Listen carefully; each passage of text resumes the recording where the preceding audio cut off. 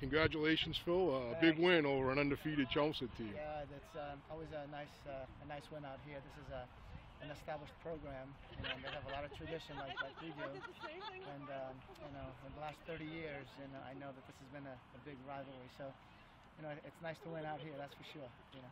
Your depth showed today. You guys got a great effort by a lot of kids with a packed it up and uh, beat a good team. That's kind of our bread and butter is that we, we run as a group. You know, we, we graduated some some very fast kids last year, so uh, uh, our team goal is a little different. You know, we, we, have to really uh, run run together as much as we can, um, which I think we, we, did, we did today. So Mhm. I was very happy with the way they uh, with the way they performed.